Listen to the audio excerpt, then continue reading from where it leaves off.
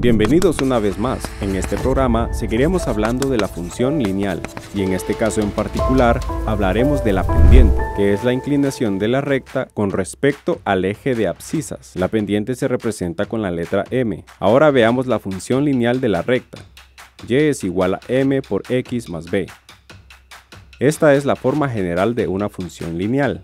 Y como ya habíamos dicho en este caso, hablaremos de la pendiente de una función que se representa con la m.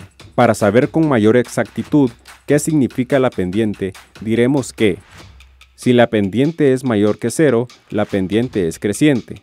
Si la pendiente es igual a 0, la pendiente es constante. Por último, si la pendiente es menor que 0, la pendiente es decreciente.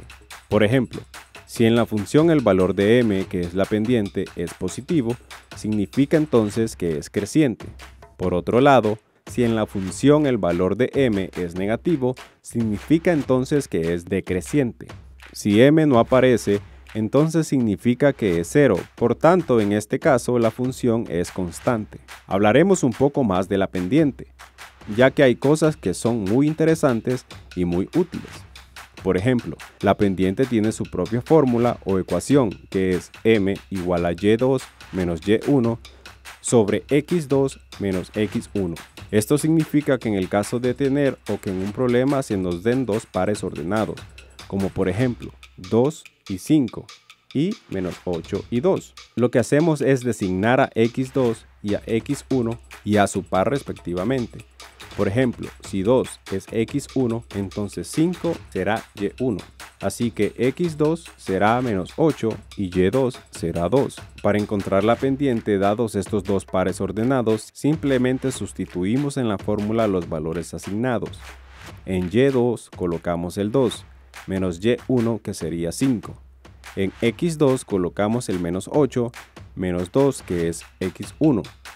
Luego se realizan las operaciones en el numerador, 2 menos 5, que es menos 3, y en el denominador, menos 8 menos 2, que es menos 10.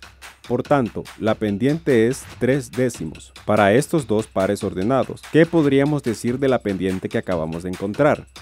¿Es creciente? ¿Es constante? ¿O es decreciente? Ya que es un número positivo, la función es creciente.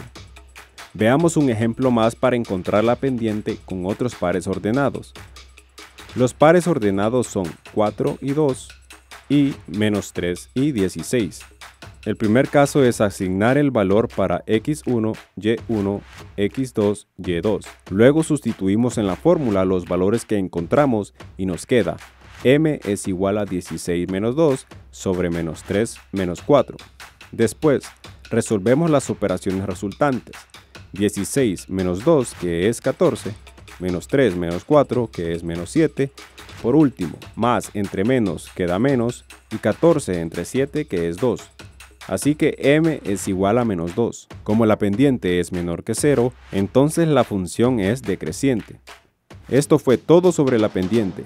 Tienes que realizar más ejercicios y comprobarlo tú mismo.